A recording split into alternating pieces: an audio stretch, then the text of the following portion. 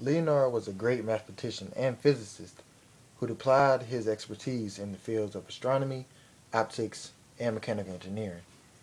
He also introduced some of the familiar notation that we still use today in mathematics, and he expanded the reach in the infinitesimal calculus. At the age of 13, he enrolled into the University of Basel and received a degree there with the Master of Arts. And at the same time, he was receiving Saturday afternoon lessons from a guy named Johann Bernoulli. And how he come to know Bernoulli, Leonhard's dad, Paul, and Johann was actually close friends. So that's how that came into play. And during these uh, lessons, Johann actually started to discover the talent that uh, Leonhard had for mathematics and told him that he was to become a great mathematician one day.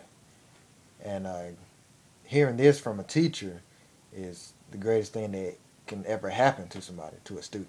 So I thought it was very neat. Well, yes, he ended up getting a job in uh, November 1726. He was offered a job in at the Imperial Academy of Science in Russia, and uh, he was going to be the department chair in physiology. And it was due to this because Johann's son, Nicholas II, died, which was department chair of mathematics, and his other son, Daniel, took that job. So uh, Daniel called up uh, Leonhard and said, "Hey, I got a job for you. You be department chair in physiology, my old job. How you like that?"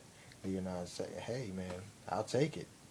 but he couldn't actually go there because there were some uh, issues taking place during that time era at the academy, so his trip was delayed. But uh, that really didn't stop him any. He said, "Well, while I'm waiting, I'll go to these uh, lecture classes on medicine. You know, I'll be prepared right when I get there." And at the same time, he tried applying for a physics professorship at the University of Basel, but that didn't go too well. He, he got declined. So he had a lot of things going uh, through this time.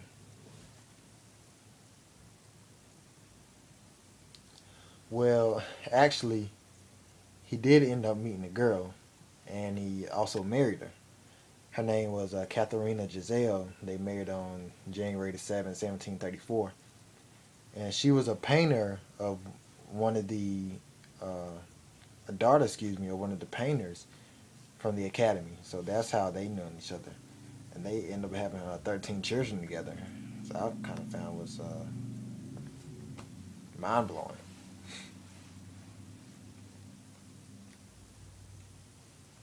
Uh, uh, yes, actually, it was in 1735.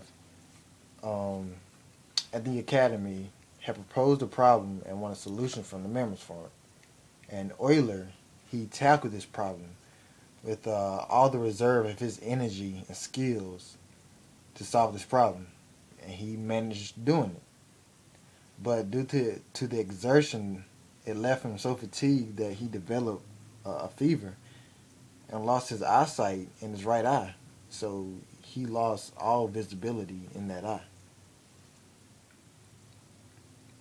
Yes, he was still able to work, but uh, later on in the year 1776, he developed a cataract in his left eye, so that made him completely blind for a few weeks. And at this time, he was uh, preparing to write a book called The Elements of Algebra.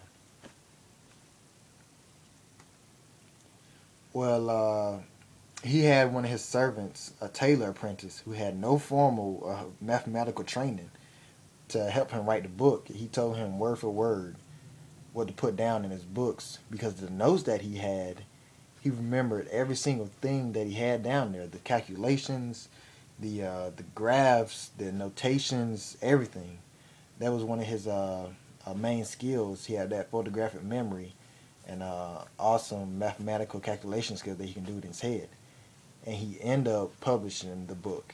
It was a, it was a, a success. Yes, it was. Yes, it was. Yeah, no problem. Anytime. Whenever you need me. All right. See you.